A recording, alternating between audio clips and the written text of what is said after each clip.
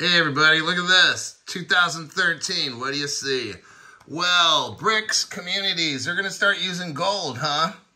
They're using gold as a dollar defense. they're going to get this BRICS money and uh, take over the U.S., right? I guess that's the plan. Oh, now that's interesting because I just got done showing you how that country and Ripple are very buddy-buddy. So in the article here, it goes to show us about three countries.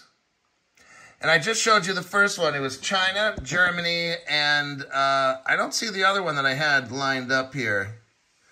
But that's all right, because we're going to see who these Ripple partners are. Germany.